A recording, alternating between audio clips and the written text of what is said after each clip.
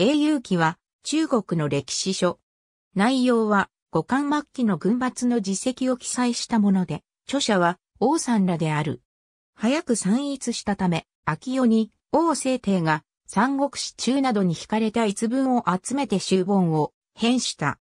成立年代は明らかでないが、英雄記で年代の明らかな記事の中では、建安13年の記事が最も新しく、これ以後から王さんが死去する建安22年までの成立である可能性がある。随所、形跡史に、関末英雄記八巻王参戦、残血、両雄十巻、との記載があり、旧東女、形跡史に、関末英雄記十巻王参当選、との記載がある。この巻末英雄記が英雄記のことであると考えられている。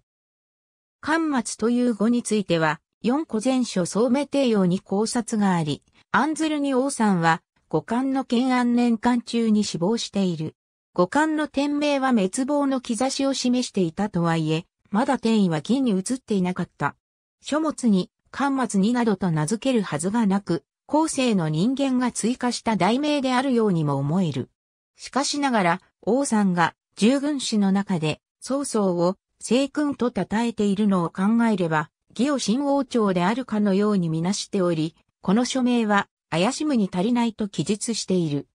また、続官所、軍国史会計軍の城の竜明中に英雄構想記なる書物が引かれているが、これも英雄記と同一書である可能性がある。